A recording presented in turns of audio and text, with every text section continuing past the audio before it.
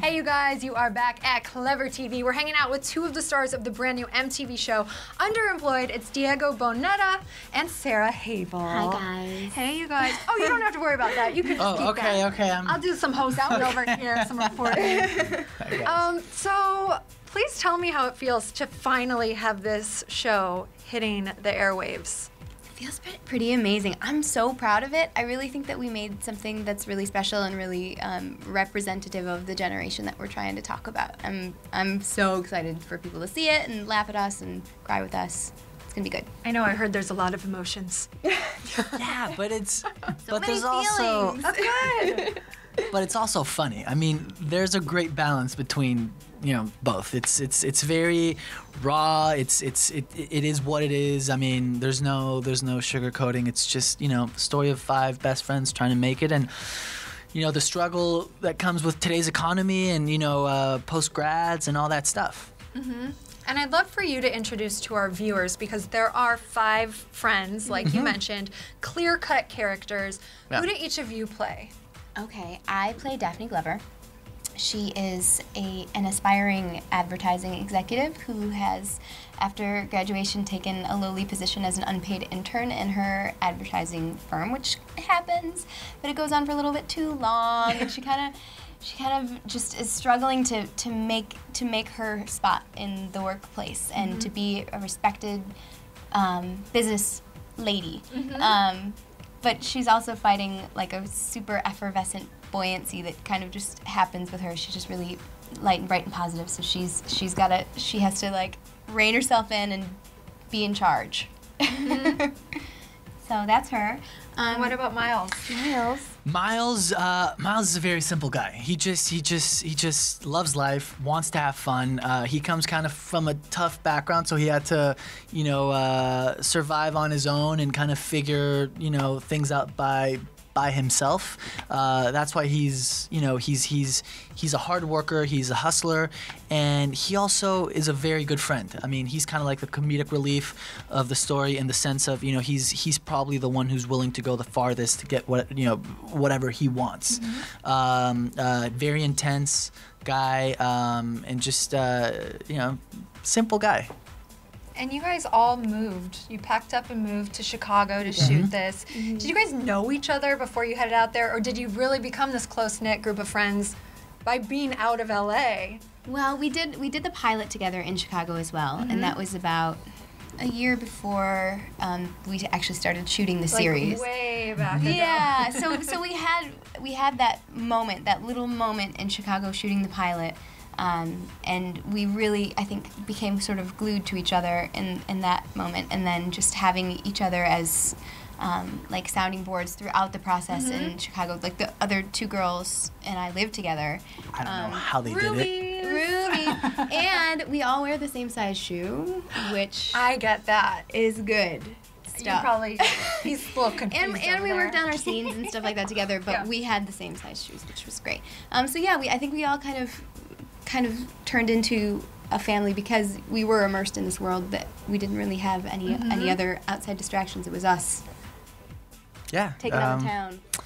Yeah, you know, uh, I admire their decision of uh, three of them Were leaving. you living solo? uh, them living together. That's why only two of them are here today.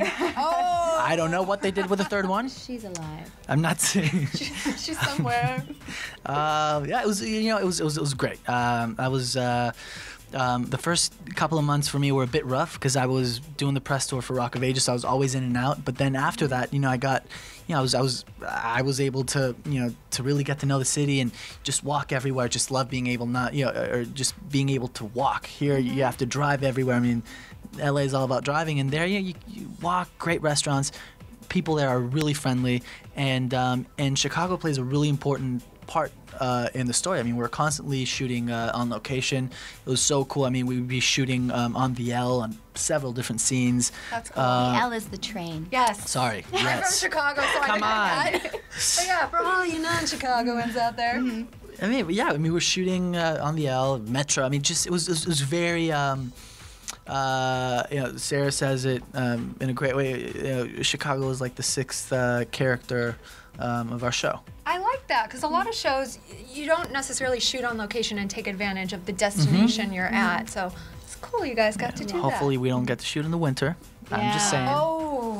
That'd be bad. Yeah, it's real cold there. Mm-hmm. real cold. I don't like the sound of that. I'm not I'm going. just- I'm not I'm going. saying. You're coming with us. Set visit. So uh, the first episode's obviously coming up October 16th for you guys out there, um, MTV 10 p.m. Yep.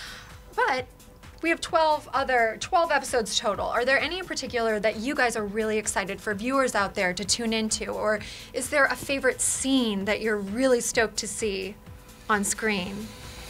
Um, as a fan of the show, it's not a scene that, that I'm in, but I'm really excited for um, episode 10, the, the kids, um, to see what the boys and Sophia get up to in their in their night off. Ooh. um, it's a really it's it's pretty it's pretty exciting. It's like a it's like a wild night out kind of Oh, kind of episode. well, you got me on that one. Okay, episode 10. Looking out for it. Um, you know, I just uh, there's um, there's a lot of stuff going on. I mean, in all 12 episodes, uh, and it's pretty balanced because we all get our moments. Um, I I like when Miles falls in love because it's it's towards the end, um, and you don't get to see that part uh, in the first episodes. You know, Miles is first a ladies' man, and he's just having fun, and then he finally falls in love with someone, and then that, that hits him hard, and um, and that's a cool arc um, in the character. Very nice. So I am asking everyone on the cast. Um, you've probably never been asked this before. Uh oh. First job, worst Yeah. job, or favorite job? You- Sorry. you take this one I home. Was, I was just, oh really? Because I was just talking to Craig, the EP, and he had a pretty amazing job. Was it the fish thing? No. It had to do with pulling a fat off of turkeys. Well, he he's he's he's he's been he's done it all. Yeah, he he's, has. He He's really MI6, you know, James Bond. He, he's done it all. He has all the stories. Yeah, he's got he's got a lot better a lot better job experience than us. I just my favorite and least favorite thing that ever happened in a in a job that I wasn't super passionate about was when I was waitressing in um, a, uh restaurant in LA, a French place that was nice. And um, there was this uh, regular French lady that would come in, and she was always kind of like, "Meh, meh, meh," and whatever.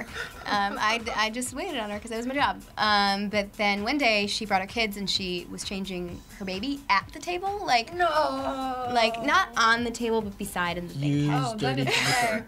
And so she took the the di- she wiped, and I was trying to, I l- look away, um, and not judge her because you know who am I? I don't know. It might be like a cultural difference. You're difference. too nice. um, and then she calls me over, and before I know it, she plops the dirty diaper in my hand as like a throw this away for me.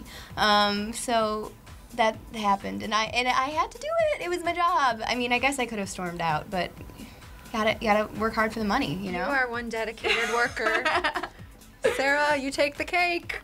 I love cake. Especially when it's French. Yeah. Diego, are you having good stories? Uh, you know, not nearly as good as that one. Uh, I, I, I've been I've been very lucky. I mean, I, I my first job was when I was 12 years old, and it was working in the business, singing and acting. Um, did have this one movie. Uh, um, I'm not gonna say the name. Uh, a couple of years ago, uh, it was it was it was it was me with uh, like six other girls. Uh, I was very excited at first. I was like, wow, you know, you know, the only guy there, and then all of a sudden, they all ganged up against me, and it was it was it was it was it was pretty uh, it was pretty intense. Uh, it was, never lived the high school experience because I was working. You know, I was tutored through high school, but in that month, I feel like all four years of college were condensed in that.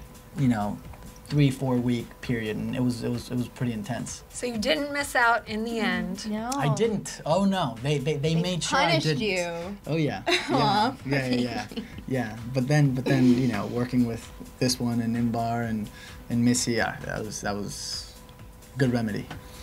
Very nice. Um, just one last thing. Why do you think people should tune into this show? MTV has a ton of shows out there, a lot of really new, cool ones. What's special about Underemployed? Um, So diplomatic. now, look, underemployed is a very um, it's it's it's it's it's a raw show. You know, it's uh, it's set in you know today's economy. You know, five best friends. Uh, I feel like a lot of kids our age will relate to it. I mean, all of my best friends who've seen the pilot, they all they're like, "Oh my god, I'm like this, I'm like that." You know, it's very relatable. It's a lot of fun, uh, um, and um, and I feel like when you see it, you know, you really feel like you're a part of the group of friends. Yeah. Everybody He said it so well. He did. I'm what- like, okay, now that's why. What I'm not else? now, What yeah. else, Sarah? I mean, the the writing is so good, and everybody on it is so good. All of our guest cast, our recurring cast, is so perfect. Um, everyone, everyone feels like a real person, Mm-hmm. um, which is which is amazing. It's I, I think that um, underemployed is like is reality without being a reality show. Like you you get a sense of what um, what people our age are going through, Mm-hmm. and they can relate to it, and um, maybe pee their pants laughing sometimes. It's that funny. Wear a diaper, not a dirty Yeah. diaper. one. Not a dirty Diapers. One. Yeah. yeah, I mean, there's a good balance. I mean, I feel like the hardest thing of this show is what makes it the best, which is you know people ask us, so is it, is it a dramedy or is it or, sorry is, is it is it is it a comedy or is it a drama? And they're like, it's a mixture of both. And at the end of the day, I, I feel that's what's so special of the show. You know, you have moments where you'll cry and moments where you you know where you'll laugh your butt off, and I, I that's that's that's very uh, unique. Well, we're ready for that. We're all we ready. are Let's, let's let's Let's get do it, guys. Thank you so much. It was Thank great you. chatting with you both. Really nice to meet you. Thank you. And thanks you guys for checking out Clevver TV. I'm Dana Ward with Sarah Habel, Diego Boneta, and you are not cool if you don't tune in to MTV for Underemployed. It's coming up October 16th at 10 p.m. MTV. Yes. See you guys there. Thank you guys. Bye. Thanks, Clevver TV.